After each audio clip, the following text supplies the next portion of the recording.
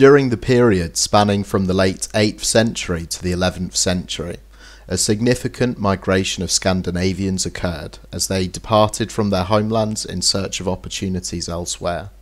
This transformative event altered the course of history permanently.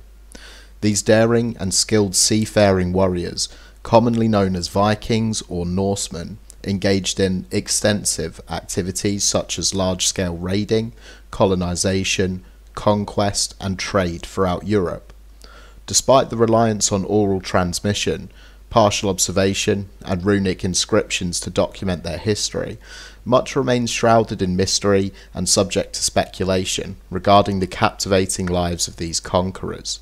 In this video, I'll explore how the Vikings' dedication to cleanliness, their luxurious and styled hair, and their all-over body tattoos challenged the stereotypical image that we've grown accustomed to.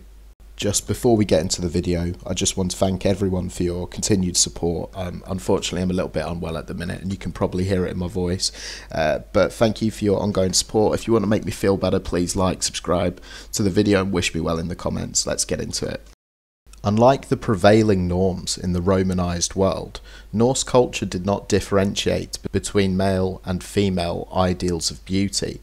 The same standards applied to both genders, and discussions concerning beauty encompassed both sexes without any implicit sensuality. For instance, a poet could extensively talk about someone's beauty without any assumptions of romantic attraction towards that person. Regarding women, their physical beauty was measured by the fairness of their arms and the length and lustre of their hair. The longer, the better. Compared to other European cultures, the Norse societies placed a greater emphasis on cleanliness and hygiene. Archaeological excavations have uncovered various grooming tools, such as metal toothpicks and ear spoons. Viking men took considerable pride in their appearance, adorning themselves with vibrant clothing, jewellery, and cloak pins that would be used to showcase their wealth. They were also known to bathe at least once a week, which may seem insufficient by today's standards, but considering that Europeans of that era typically bathed two to three times a year, it was a relatively frequent practice.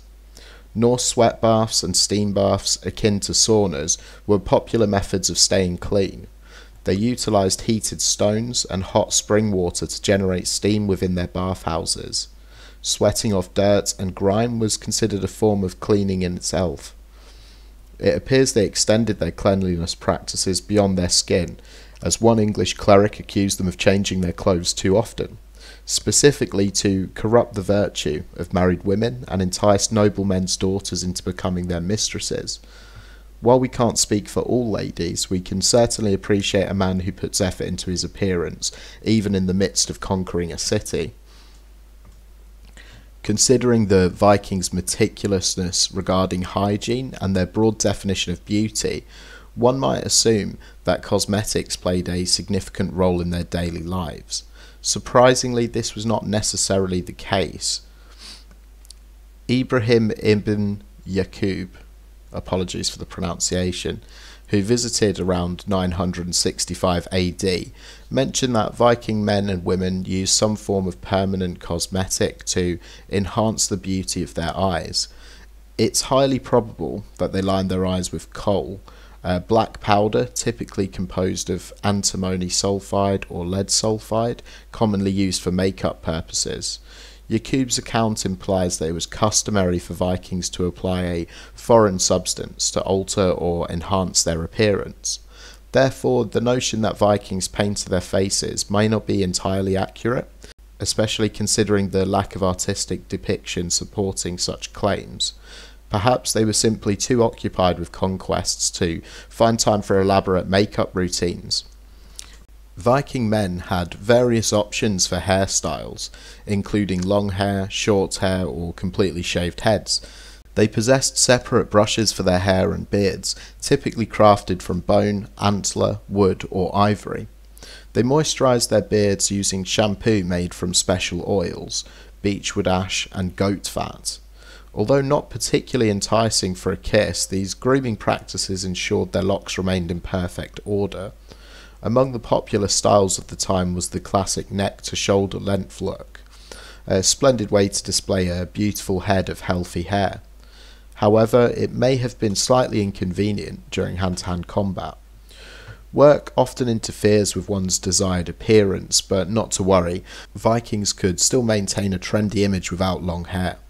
Depictions in wood carvings, such as the Oseberg ship and tapestries like the Bayeux tapestry, reveal that some warriors sported short hair on the sides and back of their heads, uh, while others had those areas shaved or cut very close to the skin, leaving a small patch of hair on top quite impractical for keeping their heads warm in winter months.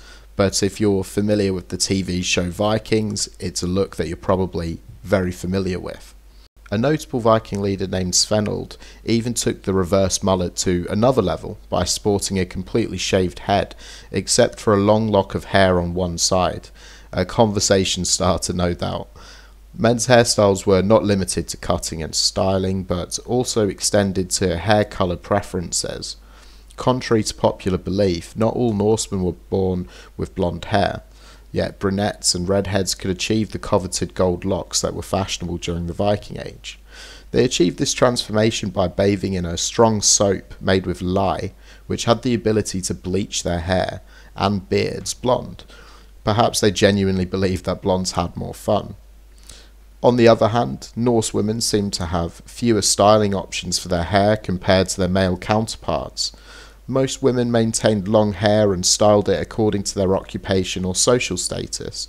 So, one common hairstyle involved tying their long hair into a single knot at the back of their head, with the loose end hanging down like a ponytail. They also decorated their hair with coloured ribbons braided into their locks, indicating their unmarried status.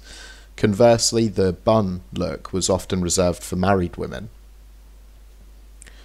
While the Vikings may not have been keen on using cosmetics, they may have opted for a more lasting form of self expression tattoos. This choice aligns with their identity as fearless warriors who face death without hesitation, yet possessed remarkable artistic and craftsmanship skills.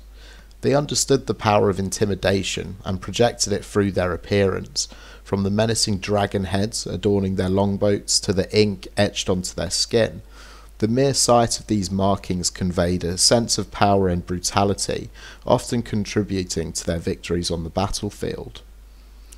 Arabic scholars observed that the Rusya warriors had tattoos that started at their fingertips and extended up their arms to their necks, while other accounts describe tattoos on their arms and chests.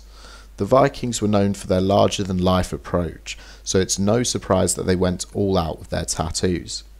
These tattoos were described as having a dark green hue, though it's more likely that the ink appeared dark blue, achieved using wood ash, a common pigment of that era. As for the tattoo designs, uh, the patterns could include trees and animals. Those kind of tattoos would have held deep significance for the Vikings and Norsemen, uh, given their pagan religion. There also would have been tattoos with personal meanings to them that so far down the line, it's Im- impossible for us to really realise why they would have got them. Um, perhaps there were Vikings who even regretted their tattoos, but the Viking dedication to grooming and appearance reflected the values of their culture as a whole. It's been suggested that their belief in fate played a role, as they never knew when their time would come and wanted to look their best for the afterlife. In a way, the Vikings embodied the only live once mentality, so, what do you think? Are you inspired to get that dream tattoo sleeve or emulate their style by shaving your head and leaving a braided lock